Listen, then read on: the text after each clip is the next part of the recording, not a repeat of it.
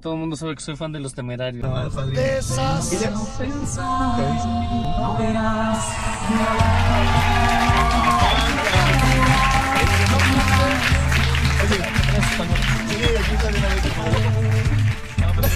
Y romanticón me saliste, Gustavo, ¿qué onda? Mi papá tenía autobuses ahí en la empresa, en Nata. Ajá. Y este, pues luego me mandaba de chalán con los autos. No, con los- padrino, con los estos son los choferes, más ¿no? románticos, ¿no? Entonces, pues, Atravieso el anillo periférico sobre los lugares. Amigos de la Poli de Tlaxcala, bienvenidos a esta nueva entrevista más. Hoy estamos con un joven político aquí en Apizaco. Gus, bienvenido aquí a la Poli de Tlaxcala. Muchas gracias, mi amigo Lalo. Él tiene un nombre de novela, es Gustavo Alfonso. Gustavo Alfonso. Mis papás cuando estaban buscando este, mi nombre querían que- algo que sonara así recio, eso Gustavo Alfonso. Y algo, pues, Para rápido. regañe, Ya sabes que los dos nombres. suene, suene recio. Crecí en, un, en una familia en el que siempre pues tratábamos de ayudar, tratábamos Ajá. de echarle la mano a la gente. Este, mi abuelita, me acuerdo que vivía aquí en, este, en Santa Rosa y este, le daba de comer a los inmigrantes que pasaban por Yo, yo soy miembro del Club Rotario, Ajá. acá en Apizaco, en Rotarac. Y también desde ahí empezamos a, a hacer este, actividades altruistas. ¿Cuántos años tienes, carnal? Tengo 30 años. 30 ya, de años, hecho, este, sí me veo más joven. Dicen por ahí que me veo más joven, pero sí ya. Yo creo que Ahí si nos me vamos, quito, carnal, ahí nos vamos. Yo creo que si me quito la barba sí me veo Sí, como yo- de 25. La 26, neta, yo por eso no me la quito porque ya me piden INE. No. Mi papá es originario de Terranate, Tlaxcala. Y mi mamá es de un pueblito que se llama Ixtacamastitlán.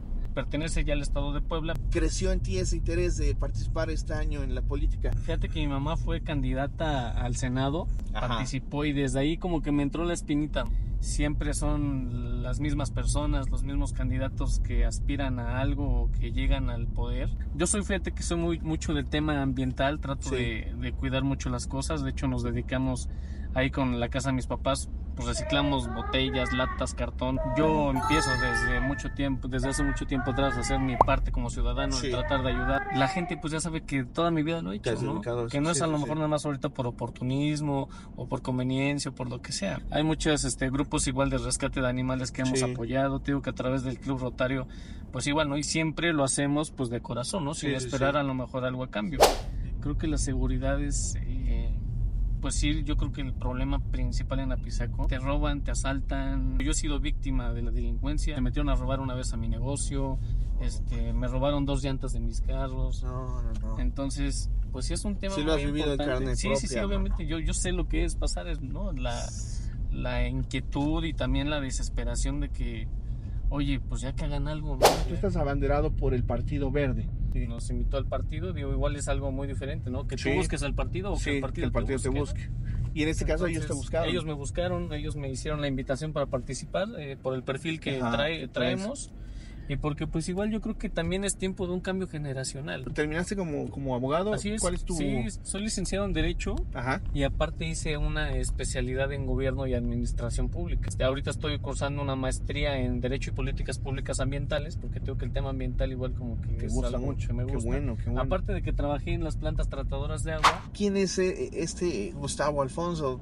El Gus que le dicen sus amigos. ¿Quién es? Pues soy, soy serio, ahora sí que le digo a la gente, no es nada más dejen que entre en confianza, pero sí O este, dime, nos pasamos echar una chelita. Yo creo que pues para empezar a aflojar este la boca es Está usted sonando muy puñal. No, de ninguna manera. Nosotros somos machos, que no. ¡Eso! soy amiguero, soy muy amiguero, obviamente de joven igual pues me gustaba la fiesta. Dices de era- joven y me pasas a fregar Bueno, a mí porque yo ya tengo un Todavía poquito más estamos de los jóvenes, 30, todavía carnal. estamos jóvenes, pero digo, Ajá. unos años atrás, yo soy muy amiguero, ¿eh? eso Sí. sí. en Apiseco tengo muchos amigos, Chido. este, que he hecho, este, tanto igual eh, por, Por el andar trabajo. haciendo actividades, por el trabajo y por el fútbol.